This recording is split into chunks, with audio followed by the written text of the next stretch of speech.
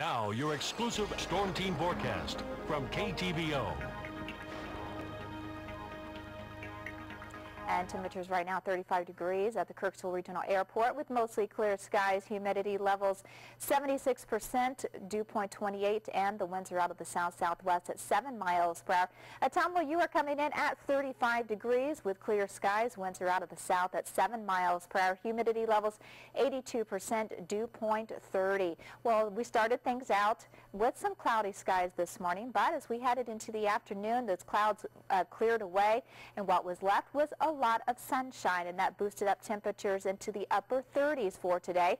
And of course, uh, since temperatures were that warm, we started seeing the snow melt away. For uh, the future cast, let's put this in motion. Another system that's going to be moving in, but this time we are going to be on the warm side of it, and we're going to get some rain that's going to move in starting around 11, 12 o'clock, moving from the south and to the west. A little bit heavier indicated by the darker greens. Also could hear some rumbles of thunder. Uh, so again, middle of February and we've got some thunderstorm activity. This will continue as we head through the day tomorrow. How much rain are we expected? Well, up to three quarters of an inch by tomorrow night before all is said and done. Well, of course, today is Valentine's Day and we topped out at 39 degrees here at the station.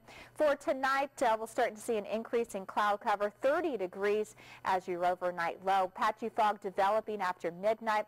Winds are out of the south 5 to 10 miles per hour. Surface map uh, showing a lot of this moisture coming up from the Gulf.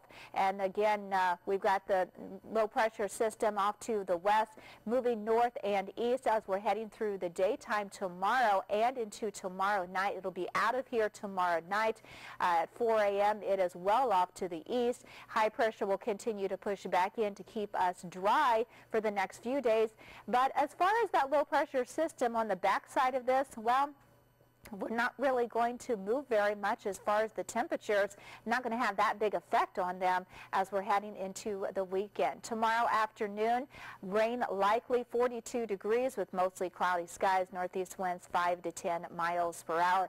Rain continues for tomorrow night, 29 degrees as your overnight low.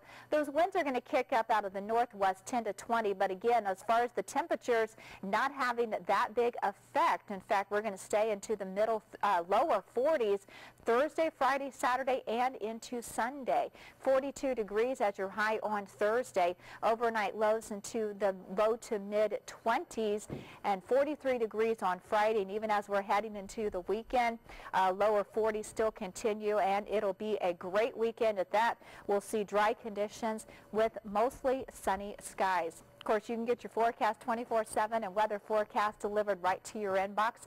Just click on subscribe. It's free at the top of the homepage of heartlandconnection.com. Uh, so again, all the snow or majority of the snow, mm -hmm. I mm-hmm. should say, has melted off today since temperatures uh, were in the upper 30s. Disappeared so right before our eyes. It came in and gone like that. We like when it happens like that. I like all it. Right.